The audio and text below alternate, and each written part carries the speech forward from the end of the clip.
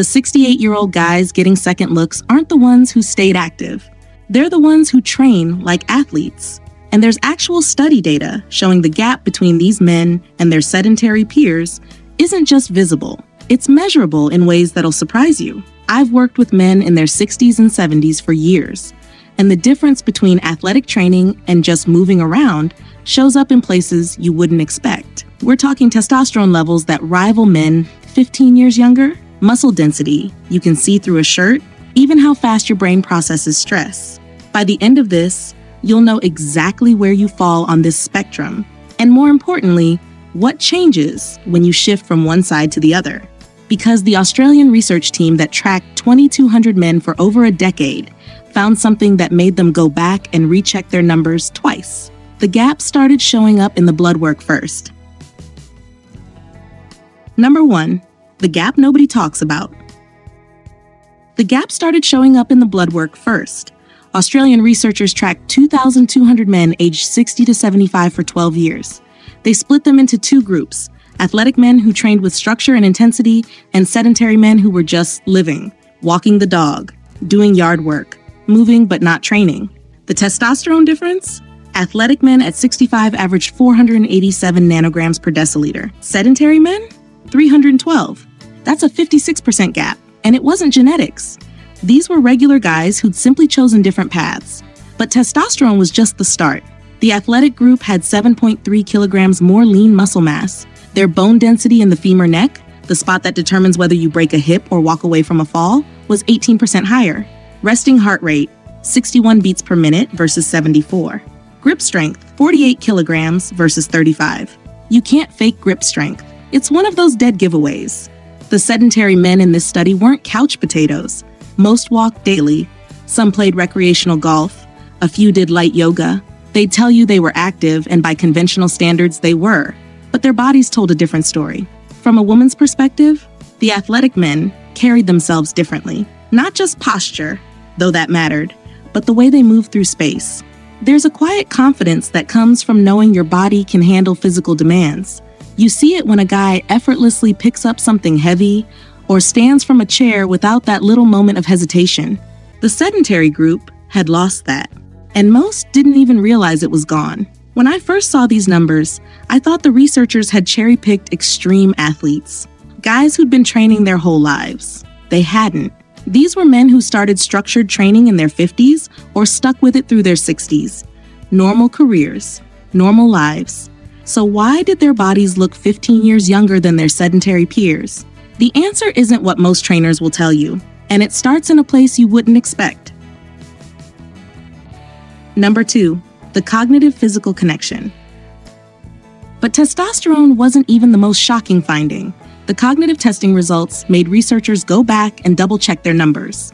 Memory recall was 18% better in the athletic group. Processing speed, how fast you react to information, was 23% faster. The mechanism? A protein called BDNF, brain derived neurotrophic factor. It's essentially fertilizer for your brain. The athletic men showed a 40% increase in BDNF levels, the sedentary group, just 8%, even the ones who walk daily. And that's the first mistake most men make thinking movement equals training. Walking is great, yoga is fine, but your body doesn't adapt to things it can already handle. You need to push past 80% of your max heart rate at least three times a week to trigger real neuroplasticity. Anything less, and you're maintaining, not building. I worked with a guy named Richard, 66, who'd been walking five miles a day for years, felt virtuous about it.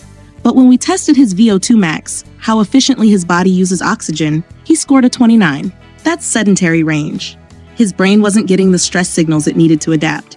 Compare that to the athletic group. VO2 max averaged 38.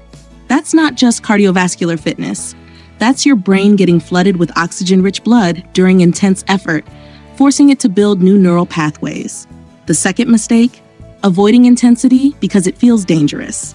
Sedentary men in the study showed accelerated cognitive decline markers.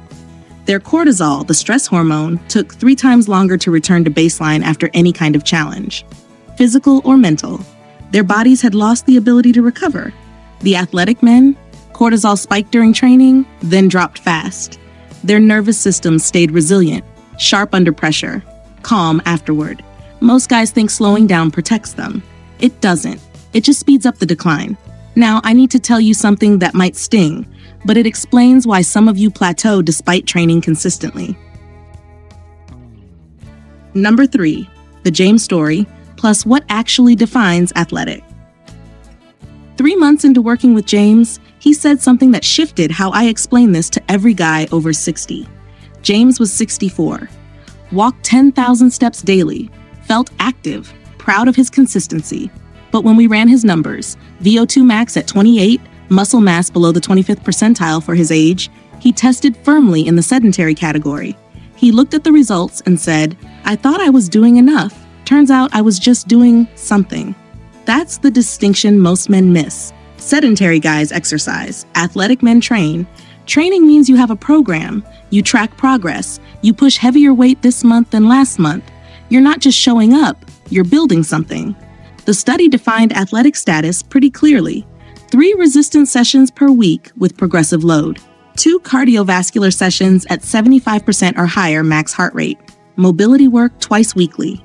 Not complicated, but specific and they found two principles that contradict what most trainers recommend for older guys. First, the athletic men lifted heavier relative loads than standard senior fitness programs suggest.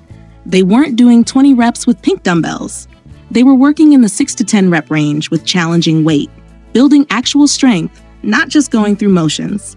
Second, they took longer rest periods, 2 to 3 minutes between sets, not 30 seconds like some high intensity circuit. Their bodies needed time to recover between efforts, and that recovery is what allowed them to lift heavy enough to trigger adaptation. James started following this protocol, stopped chasing step counts, started tracking his squat and deadlift numbers instead. Six months in, his VO2 max hit 34. Not elite, but solidly athletic for his age. More importantly, his wife mentioned he seemed more present, less irritable, that cortisol resilience showing up in real life. But most guys derail themselves before they ever get there. They make one mistake that costs them six to eight months of progress, and it's not about overtraining. Number four, the implementation gap plus three phase framework. The mistake that costs guys six to eight months, starting with athletic level volume before their structure can handle it. You see a program, it says three days a week, four exercises, three sets each. Looks manageable, so you jump in and for the first month, maybe two, it feels great. Then your shoulder starts nagging. Your knee gets cranky. You back off thinking your body's betraying you. It's not. Your tendons and joints just need 12 to 16 weeks to adapt to new loading patterns. Muscles respond fast, connective tissue doesn't. So you've got to build in phases. Phase 1 is foundation, weeks 1 through 12, two full body sessions per week, 5 to 8 exercises, three sets of 8 to 12 reps at about a 7 out of 10 effort, two sessions of low impact cardio, 30 minutes in zones 2 or 3, daily 10 minute mobility work. Boring? Maybe, but this is where you earn the right to train hard later. Phase 2 is intensification, weeks 13 through 24. Now you split your training push day, pull day, legs, three sessions weekly. You start adding 2.5 to 5% more weight every two weeks. One high intensity interval session per week 8 to 10 intervals, 30 seconds on, 90 seconds off, one steady cardio session at 45 minutes. This is where strength actually builds, where your nervous system learns to recruit muscle fibers efficiently. Phase 3 is athletic maintenance, week 25 onward, 3 to 4 resistance sessions, 2 varied cardio sessions, and critically, you deload every fifth week. Drop the weight, give your body space to consolidate gains, track your compound lifts, your resting heart rate, how fast your heart rate drops one minute after intense effort. Sleep quality. Most guys want phase 3 results in phase 1 timeframes. The athletic men in that study, they'd been training consistently for three years minimum, not three months. I'll be honest, when clients first hear that timeline, some bail. They want the shortcut, but there isn't one. Your body doesn't care about your impatience. The ones who stay?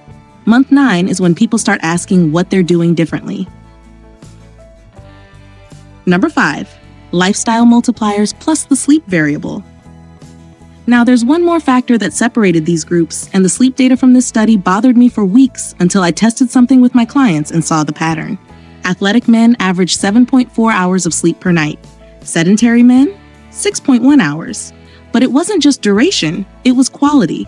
Sleep efficiency was 88% for the athletic group versus 76% for sedentary men. After 60, your growth hormone pulses during deep sleep declined 12 to 15% per decade. The athletic men maintained 40% higher deep sleep percentages. Their bodies were actually recovering while sedentary men were just lying in bed. And I noticed something with my own clients. Guys who trained hard but slept poorly had inflammatory markers identical to sedentary men. All that effort in the gym wasted because their bodies couldn't repair. Three habits the top performers never skip room temperature between 65 and 67 degrees, last meal at least three hours before bed, 10 minute wind down protocol with no screens. Simple stuff, but consistency is everything. Protein timing matters too. Athletic men consume 30 to 40 grams of protein within 90 minutes post training. Sedentary men had sporadic intake, often skipped post workout nutrition entirely. Your muscles need that signal to rebuild. Miss it, and you're leaving gains on the table. There's also a factor the study captured that surprised me relationship satisfaction scores. Athletic men reported 82% satisfaction, sedentary men, 61%. Physical capability affects confidence in every domain of your life, not just in the gym, in how you show up for your partner, how you handle stress at work, whether you feel like a participant in your own life or a spectator watching it slip by. The guys who look best at 67, they're not obsessing over macros or counting every calorie. They're sleeping 7.5 hours and training like their body is worth protecting. Because it is. So, how long does it actually take to move from sedentary to athletic at this age? The answer depends on one factor most men assess incorrectly. So, how long to go from sedentary to athletic? Based on this study and my experience, 18 to 24 months of consistent, structured training, not casual exercise, not hoping three walks a week will do it. But the transformation isn't linear. James didn't feel dramatically different at month six. Month nine is when people started asking what he was doing. Month 14, he tested in the athletic category. The men in that study who maintained athletic status into their 70s, they didn't get there by overthinking. They got there by showing up, progressing load, sleeping hard, and trusting the process long enough to see compound results. You're not too old, your joints aren't too damaged, you're just operating in the wrong category. And now you know exactly what the athletic category looks like. It's the exact progression that takes the guesswork out of week to week planning. And if this kind of straight talk is useful to you, subscribe. I'm not here to sugarcoat or sell you shortcuts, just real information from men who are serious about getting better. You've got 20 plus good years ahead. Train like it